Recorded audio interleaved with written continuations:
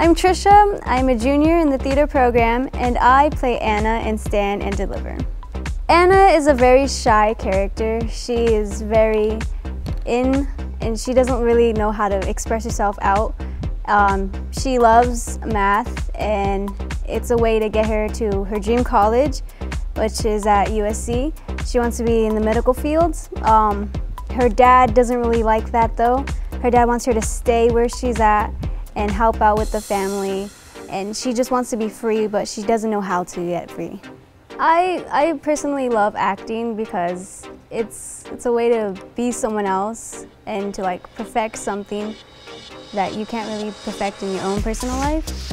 And um, it's a way to express uh, different emotions like, like sad or anger or scared. It's just, it's amazing. I love acting.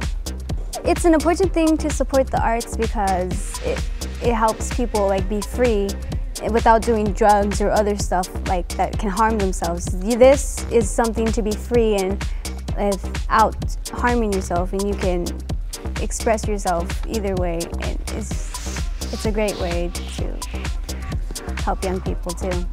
I am going to personally invite you to come watch the show Stand and Deliver on the 2nd, 3rd, 4th, 9th, 10th, and 11th. Hope to see you there.